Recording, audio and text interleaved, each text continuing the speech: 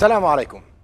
امبارح حكينا عن ضرورة حسن اختيار كل شريك لشريكه وبينا شو هي الأسس وقد إيه مطلوب تكون موجودة. لتكون هي المنطلق الأساسي والصحيح لإقامة هذا البناء يلي اسمه السلام الأسري. وشرحنا أيضا كيف أنه أي تقصير أي إهمال أي خلل رح يشكل تهديد مباشر لمستقبل الأسرة كلها. ولكن هون لازم نحكي شوية بصراحة. بعرف تماما بأنه في كتير من الشباب والصبايا عم بيشوفونا رح يقولوا والله نحن سعينا بكل جهدنا والتزمنا بالشروط والأسس المطلوبة بس ما عنا قدرة أنه نقدم على خطوة الزواج. الأوضاع الأحوال الضائقة المالية طلبات الأهل الحياة غير الطبيعية يلي صارت موجودة ببلادنا انقلاب الموازين بالمجتمع وأمور كثيرة وصلتنا لمرحلة انعدام القدرة على الزواج. شو بنعمل؟ بداية خلينا نقول بأنه هؤلاء الشباب هن الصح ونحن كمجتمع بعاداتنا وسلوكياتنا كلنا غلط.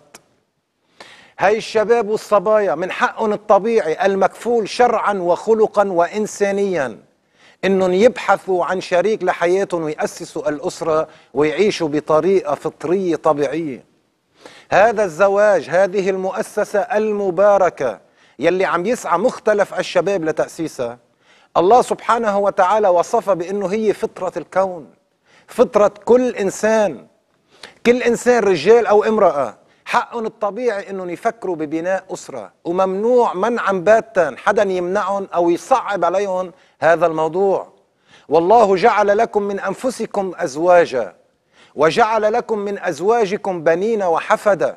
أي إنسان مين ما كان بده يوقف بوجه هؤلاء هو إنسان عم بيعاند فطرة الإنسان عم بيعاند سنة الحياة وحسابه صدقوني سيكون كبير جدا يوم القيامة.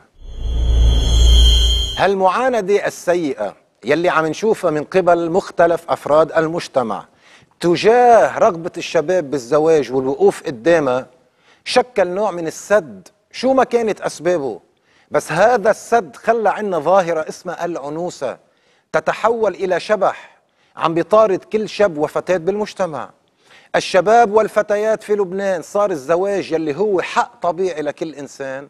صار حلم من أصعب ما يكون تحقيقه بالنسبة لهم بنيوا حياتهم صح تعلموا صح اختاروا الشريك صح بدأوا بالخطوة الأولى صح ليتفاجئوا بمجتمع كله خطأ بخطأ. قناة روسيا اليوم أخ... أواخر العام 2015 قامت بعمل دراسي عن نسبة العنوسة بالعالم العربي لتوصل بنتيجته بأنه لبنان يتصدر كل البلاد المجاورة. بنسبة عنوسة توصل ل 85% بين الرجال والنساء. 85% من الشباب ذكورا وإناثا عاجزين عن الإقدام على خطوة هي من أساسيات هذه الحياة. بعض الناس شككت بالدراسة وقالت منا صحيحة وفيها أشكال خاطئة. ماشي. ولكن المعطيات الواقعية يلي موجودة بمجتمعنا تشير فعلا وصراحة أنه عندنا ارتفاع بمعدل العازفين عن الزواج. خصوصا أنه آخر دراسة ممكن فعلا نعتمد عليها أجرتها وزارة الشؤون الاجتماعية بلبنان عام 2007 2007 وأكدت بأنه نسبة العزوبية لدى الذكور من الفئة العمرية بين 30 و 35 سنة تقدر ب 47% نص الشباب ما قادر يتجوز. وهذه النتيجة عم ترتفع تدريجيا نتيجة التركيبة الديموغرافية للمجتمع اللبناني والأزمة الاقتصادية اللي فرضت حالها بحياتنا وشكلت واقع اجتماعي جديد بكل أسف يزيد من أزمة الشباب. سؤال يلي بيطرح حاله. كيف بدكم سلام نفسي واجتماعي وأسري وعندنا نسبة توازي نص الشباب ذكورا وإناثا عاجزين عن الزواج؟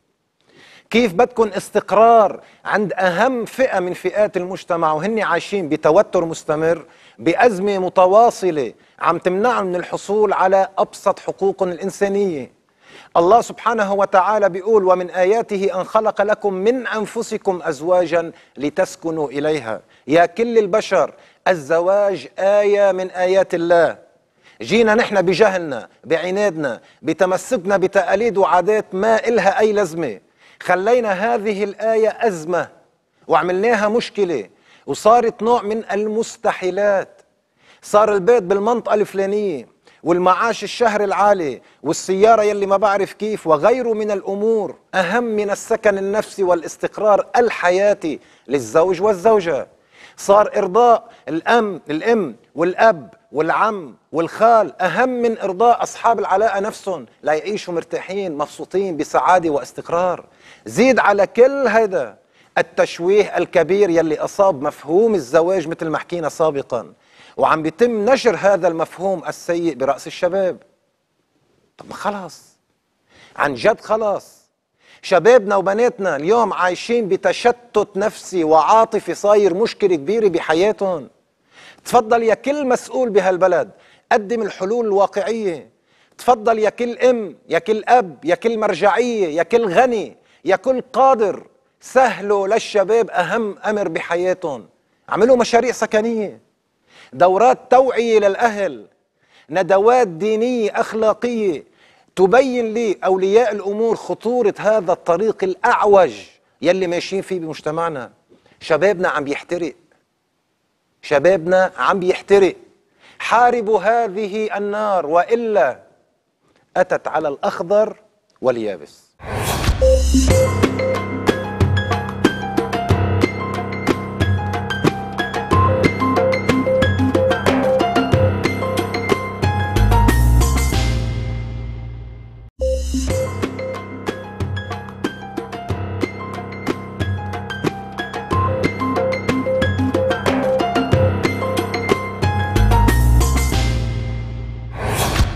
لما نحكي عن ارتفاع نسبة العنوسة ما قصدنا أبدا أنه نحكي عنها كظاهرة فقط. ولكن الهدف الأول من حكينا عنها ومن ذكرى في هذه الحلقة هي أنه نبين مخاطرها الاجتماعية والنفسية والاقتصادية والأسرية على المجتمع كله. وبالتالي هذه المخاطر هي المساهم الأول والأبرز بغياب كل أنواع السلام من المجتمع. ارتفاع العنوسة ونحكي صراحة نشر الزواج السري بصورة كبيرة. سهل العلاقات المحرمة بين الشباب والفتيات خاصة بعصر التفلت الفاجر يلي عايشين فيه. ارتفاع العنوسة زاد من سوداوية النظرة تجاه مؤسسة الزواج. أيضا ساهم بنسبة كبيرة جدا بدفع الشباب والصبايا إلى الهجرة خارج البلاد. طب وين بعدنا رايحين؟ الشباب يلي هن أصل التغيير والتطوير والتقدم والبناء والإصلاح بالمجتمع. عم بيروحوا برات البلاد بحثا عن حق طبيعي من حقوقهم. وين المشاريع الوطنية والدينية والاجتماعية يلي بتعالج هذه المشكلة؟ يا خيي أنا ما بدي هالمسؤول يطلع يقف لي ورا هيك منصة ويقول لك أنا أتعاطف مع مشاكل الشباب. خي ما بدي إياك تتعاطف. ما بدي هالخطيب يطلع نهار الجمعة ويحكي عن أهمية تيسير أمر الزواج. بدي أشوف على أرض الواقع في عمل جدي في عمل واضح يخفف آثار هذه الظاهرة.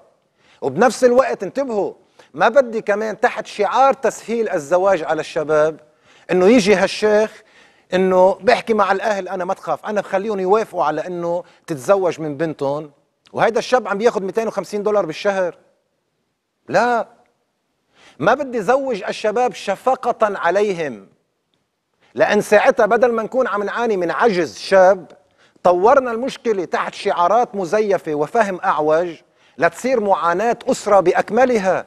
المطلوب أنه نعبد الطريق الصحيحة أمام الشباب لحتى فعلا يقدروا يبنوا حياتهم بطريقة صح. يقول النبي صلى الله عليه وسلم مخاطبا سيدنا علي يا علي ثلاث لا تؤخرها. الصلاة إذا آنت والجنازة إذا حضرت والأيم إذا وجدت لها كفءا. المطلوب اليوم أنه فعلا يكون في عنا عملية بحث عن أسباب هذه الآفة المنتشرة بمجتمعنا ونبلش نحلها خطوة ورا خطوة سعيا لتحقيق السلام الأسري بمجتمعاتنا. أول أمر مسألة الفقر أو الحاجة. بدنا دعم معنوي ودعم مادي للفقير لحتى يقدر يحقق السلام الأسري بحياته. الدعم المادي معروف وبأحيان كثيرة للأسف منه مطبق. أما الدعم المعنوي فهو يلي نحن عنه غايبين وهو الأمر الأهم. يعني المطلوب إنه نجي عند الشباب العاجز عن الزواج. نعطيه اولا جرعة تفاؤل واقعية. نعلمه صح. ننمي الإمكانيات اللي عنده صح نأمن له عمل جيد. نعطيه فرصة واقعية وواضحة لإثبات قدراته. ثم بعد كل هذه الخطوات نقول له يلا تفضل شد همتك بدنا نفرح فيك. أنت هلأ صرت على الطريق الصح ونفس القصة للفتاة. ما ممكن إنه يكون في عنا سلام أسري بالمجتمع ونحن عم نشوف بعائلاتنا شباب وصبايا صار عمرهم 35 و40 سنة وبعدهم ما قادرين يتزوجوا. وبنفس الوقت ما في أي دعم لإلهم يا استوفوا الشروط المطلوبة. حققوا الخطوات الأساسية واتركوا الباقي على المولى سبحانه وتعالى. هذا الفهم هو الفهم العملي والحضاري يلي مقصود بقول الله تعالى إن يكونوا فقراء يغنيهم الله من فضله. لأن نحن وكمان بصراحة عم نحكي في عنا ساعات ناس بتجننك لما تتعامل معك. بيجي لعندك سلام عليكم. تقول له عليكم السلام. والله جايين نطلب إيد بنتك لفلان. ماشي يا خيي الله يسهل. شو بيشتغل؟ ما بيشتغل. طب شو دارس؟ والله الله ما وفقه بالدراسة. طب شو بيعمل بالحياة؟ يعني عصفور طيار كل شهر شهرين بشغل وما عم تزبط معه. بس انتبه عم بحكيك عن شاب ملتزم بخاف الله ما بيقوم من سجادة الصلاة. هي كيف بدي جوزه بنتي؟ دغري بيطلع لك بالشعار شو؟ ولو منك مؤمن إن يكونوا فقراء يغنيهم الله من فضله. لك لا يا حبيب قلبي أنت فاهم الآية غلط. المقصود بالآية إنه هذا الإنسان وإن كان فقيرا ولكن عنده أسباب استمرار الحياة وتطور الحياة. عنده مقومات تحمل المسؤولية من علم مهنة عمل بس الظروف هي اللي معانته. مش إنه ما عنده أي شيء وتيجي تقول له زوجه. الزواج آية من آيات الله. واجبنا أنه نسهله. وإلا صرنا كلنا متضررين من آثار هذا الغياب لهذه الآية عن مجتمعاتنا.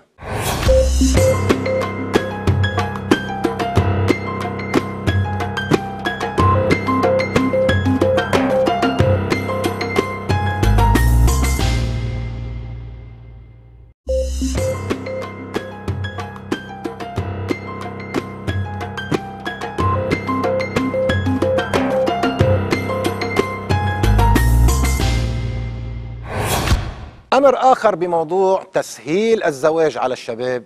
هو ضرورة التخلص من هالعادات والأفكار والمفاهيم الفاسدة يلي منتشرة براس كثير من الناس وخاصة الأهل. وعم بيصير من خلال هذه المفاهيم عملية تلويث ممنهجة لفكر الشباب. أوضح مثل هو هذا التهويل الكبير من خطوة اسمها الزواج. بيجي الشاب بعده مخرج من الجامعة وبلش يشتغل وها مثل ما بنقول بلش يحط إجره على الطريق الصح.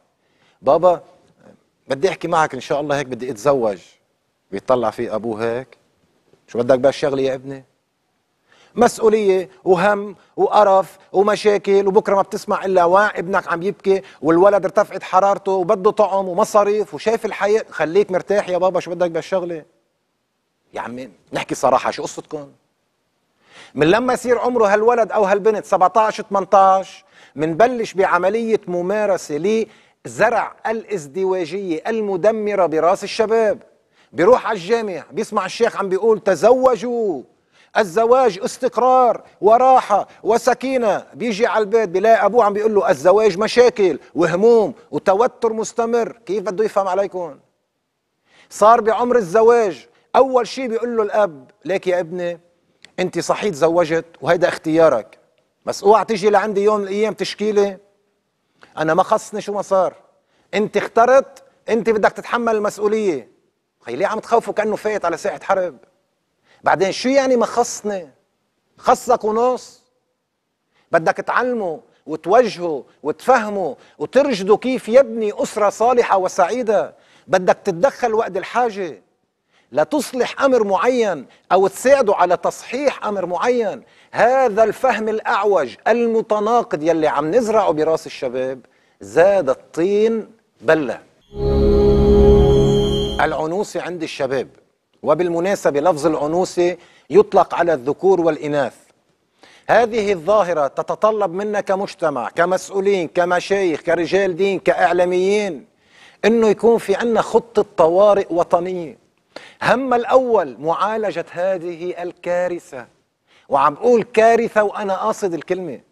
لأن لما أشوف بنت تتوفر فيها كل مقومات الزوجة الناجحة وصار عمرها 35 و40 وما قادرة تحس بحق اسمه الأمومة. يعني عندنا كارثة. لما أشوف شاب صار له 15 سنة عم بيشتغل وما قادر حتى يستأجر بيت يتجوز فيه. يعني عندنا كارثة. من ناحية تانية لما أشوف المعايير تشوهت وفي شباب تحت شطار تحت ستار سترة الفتيات وكأنه الفتاة عار.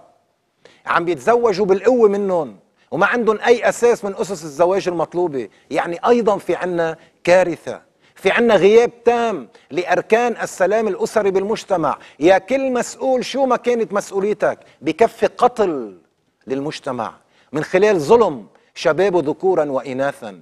تفضلوا بكل بساطة. اعملوا دراسة نفسية واقعية على الشباب وشوفوا كمية الإحباط والتشاؤم يلي سيطرت عليهم. شوفوا كمية اليأس يلي عم تكبر جواتهم. وبعدين قرروا حضراتكم. هل نحن فعلا عايشين بمجتمع؟ الإسلام يقول لكل أفراد المجتمع الزواج هو الطريق يلي يحقق السكن والمودة والرحمة للناس. هو الطريق الطبيعي يلي من خلاله تنمو المجتمعات وتتكون الأسر وتتوسع البشرية وتصبح قادرة على عمارة الأرض. النبي صلى الله عليه وسلم خاطب المسلمين إلى يوم القيامة وقال لهم الزواج من سنن الحياة فيسروا طريقه على الشباب. من استطاع منكم الباء فليتزوج. كل استمرار بهالطريق يلي مليان بالألغام ونحن يلي زرعنا هذه الألغام. سيؤدي إلى مزيد من انعدام السلام الأسري بالمجتمع. أي تأخر أي إهمال بمعالجة مشكلة العنوسة بالمجتمع حينعكس انفجار أخلاقي على كل فرد من الأفراد. الزواج أعظم ركن من أركان التمدن الإنساني وهو النظام الوحيد القادر على تحقيق إنسانية الإنسان. إشعاره بمعاني الأبوة والأمومة بكل صراحة. ما يشهده المجتمع اليوم من ارتفاع كبير بنسبة العنوسة وما يتسبب به من انعكاسات أكرر كارثية هو أشبه بدفع غير مباشر لمعظم الشباب نحو الفساد. فساد أخلاقي نفسي اجتماعي اقتصادي. وكل هذه المفاسد ما ممكن انه تكون بمجتمع إلا وتحطمت نفسية وسلوكيات أفراده. إذا بدكم المجتمع يعيش بطريقة صحيحة تفضلوا. يا كل إنسان عنده مسؤولية قوم بواجباتك مارس المهام المطلوبة منك. أما إذا كان الواقع يلي نحن عايشين فيه مقصود فهيدي كارثة أكبر من كارثة العنوثة. يقول النبي صلى الله عليه وسلم أربع من سنن المرسلين الحياء والتعطر والسواك والنكاح يعني الزواج. وعليكم السلام.